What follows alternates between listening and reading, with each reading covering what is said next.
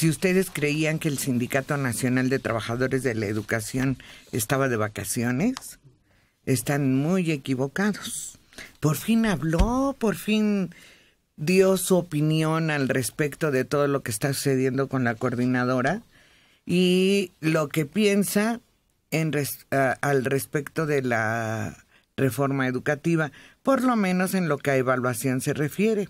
Y ya se reunieron, ya dieron a conocer un comunicado en lo que están en el que están pidiendo a la Secretaría de Educación replantear el sistema de evaluación.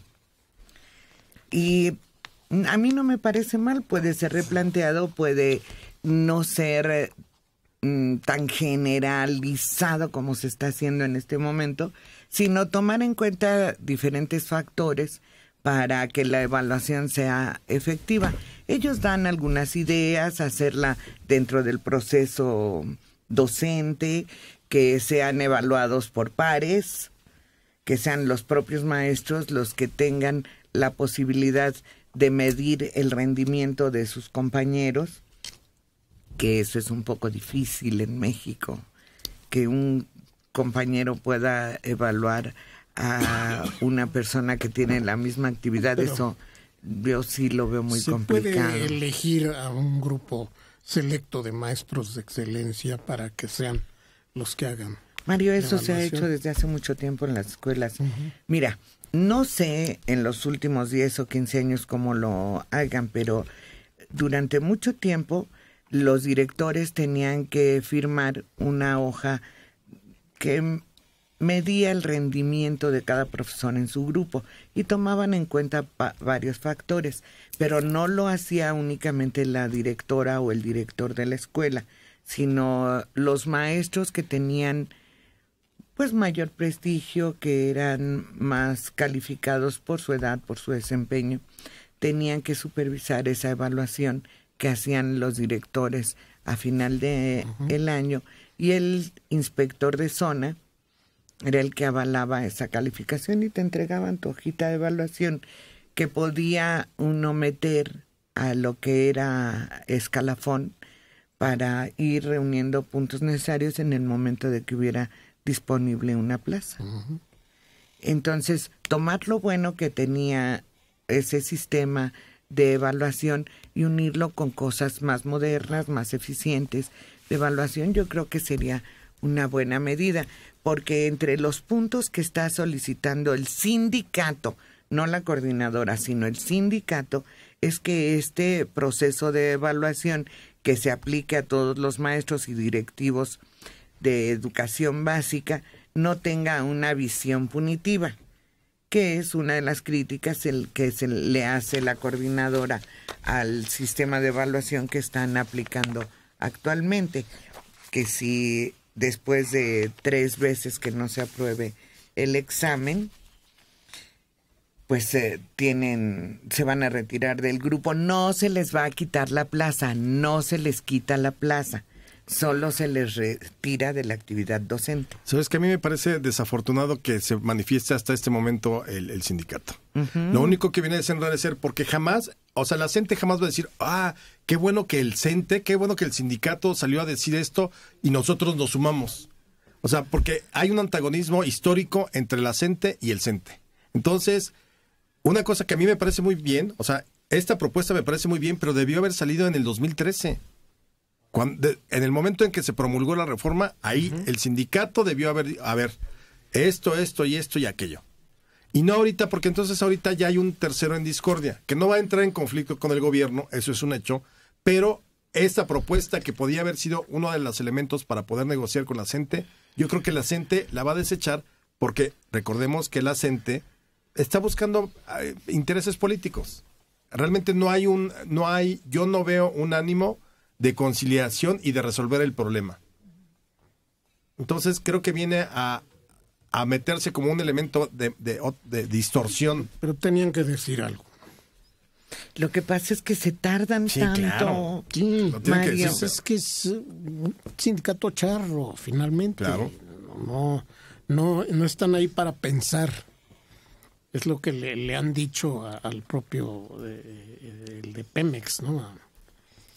eh, le han dicho, tú no estás aquí para pensar, tú estás aquí para que se cumplan las instrucciones que te demos. Es que su intervención en este momento parece que es una intervención dirigida y dirigida bajo lo que pueden ellos hacer sin dar para atrás para, con la reforma.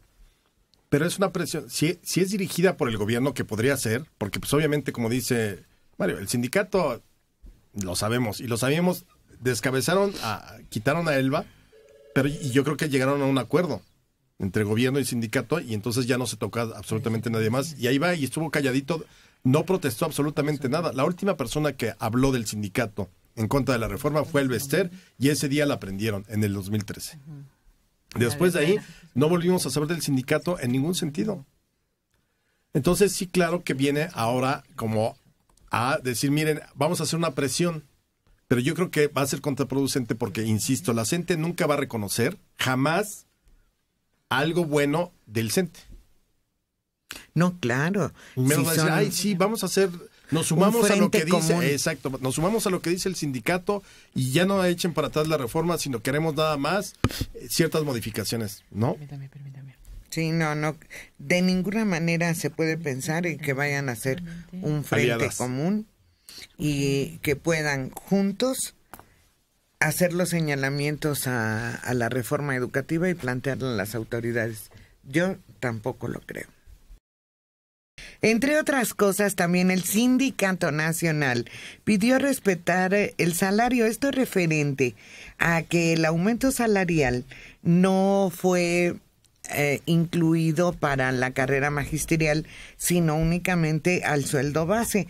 Entonces están pidiendo que se haga el aumento salarial como se había estado haciendo en los últimos años, incluido, y ahí sí, cuando lo das, ya tienes que seguir dándolo por costumbre o como tenga un nombre legal, pero ahí sí fue un error y no haberlo previsto. Pues entre otras cosas pidió revisar los eh, exámenes que se les aplican a los maestros y que todo esto esté dentro del marco constitucional y legal de la reforma educativa que se considere. Pero sí, yo creo que el sindicato se tardó y por lo que intervino en este momento, además de lo que comentábamos hace, hace unos minutos, es que fue una petición en cuanto a lo del aumento salarial. ¿eh? Una petición que le hicieron, porque son muchos, muchos los maestros, más de 500 mil, los que tienen incluido en su salario la carrera magisterial y que de estar recibiendo el mismo aumento que el sueldo base porque estaban integrados los dos rubros, el de carrera magisterial y el de sueldo base, estaban integrados y a los dos les impactaban los aumentos salariales. Ahora le sacan carrera magisterial y desde luego el aumento son unas décimas menor. Pero a ver, tú que conoces perfectamente el asunto. Antes de esto, ¿era legal, no era legal, era ilegítimo, era inmoral que estuviera junto? O sea, si era necesario ahora separar o porque yo no entiendo, o sea, eh, no entiendo si, si estaba bien antes, ¿por qué ahora lo separan? Fíjate que legalmente no se deben incluir ese tipo de prestaciones al sueldo base. Tienen que ser distintas, ¿verdad, Mario? Porque son pues partidas diferentes. origen, sí. Sí. legalmente, presupuestalmente, no era lo correcto lo que se estaba haciendo. O sea, sí venimos de una situación que era irregular, Y que se hizo costumbre y que ahora es difícil erradicarla porque sí afecta. Así es. Porque es un poco como, hay mucha gente en la burocracia que tiene un sueldo nominal, digamos, punto que gana dos mil pesos, exactamente, dos mil pesos al mes en su talonario. Y luego por compensaciones de no sé qué, bla, bla, bla, son 20 mil. Así es. Pero lo que te toman en cuenta para este cambiar de puesto, para jubilación, para otro tipo de trámites es el sueldo base. Exacto. Porque además el sueldo base está dentro de una partida presupuestal específica. Todas las demás compensaciones, la despensa, el material didáctico, las de buen desempeño, las de puntualidad, entran en una partida adicional, ¿no es así, Mario? Sí, Entonces, indebidamente se había hecho así, pero lo que haces una vez, dos veces, tres veces, se vuelve costumbre. No, claro, y ahora revertir todo eso, igual que sería en la burocracia. Si ahorita tú haces eso en la burocracia, el, cuate que gana 30 mil pesos va a ganar 15 mil. No, no es tanta la diferencia, ¿eh? porque ni creas que el rubro de carrera magisterial es tan amplio, no, no es. Ah, no, pero lo digo por la burocracia, de, digamos, en, una secretaría o cosas así, así, así opera. ¿Cómo se llama? Sí, ahora resultaba un estímulo importante para los maestros el que estuvieran unidos los dos rubros. El que no tuviera carrera magisterial pues se perdía de unos puntos en el aumento. Y era un estímulo para que los que no estaban en carrera magisterial ingresaran, hicieran sus exámenes, hicieran todo lo necesario, los estudios, todo, para poder tener ese rubro.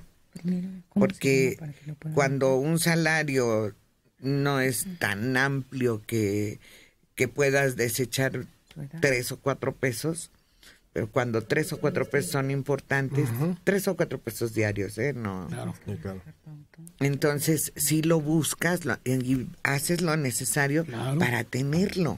Por eso hay más de 500 mil pesos, con más de 500 mil maestros que reciben su, su prestación de carrera magisterial. Porque era importante para ellos. Claro, y debe actualizarse, es una prestación eh, eh, ganada por un mérito, pues, ni modo que se mantenga eh, estática por claro. toda la historia. Entonces yo creo que sí, se cometió un error cuando la, la pusieron así. Pero se hizo costumbre. ¿Cómo le dices, ah, fíjate que ahora siempre no? Yo creo que en ese, en ese sentido sí se debe de pensar muy bien cómo lo van a solucionar. No, y más, ahorita, que tienen que manejar las cosas con pinzas, no generar nuevas fuentes de conflicto que enajenen al, a la mayoría de los maestros que siguen trabajando, que se, sienten, se sientan privilegiados por seguir trabajando. Claro. Estimulados. Sí. Y no es lo mismo que le des 100 pesos aparte a que esos 100 pesos estén incluidos en el sueldo base y cuando con, junto con esos 100 pesos le das el 4.5 de aumento, es un poquito más. Que de ninguna manera es desechable. Así es. Alma García Torres, de 53 años de Iztapalapa. Adela, antes de opinar, documentate. El rubro de carrera magisterial es algo que los maestros ganaron con exámenes y es equivalente al servicio profesional docente y debe estar incluido. ¿Y dije algo diferente? No. Dije que no todos los maestros tienen el rubro de carrera magisterial porque tuvieron que pasar por varias cosas para poderlo obtener. Eso dije. Y debe estar incluido en el salario base. Eso de que debe estar incluido, no, porque no es generalizado, es únicamente a los que cumplen con determinados requisitos.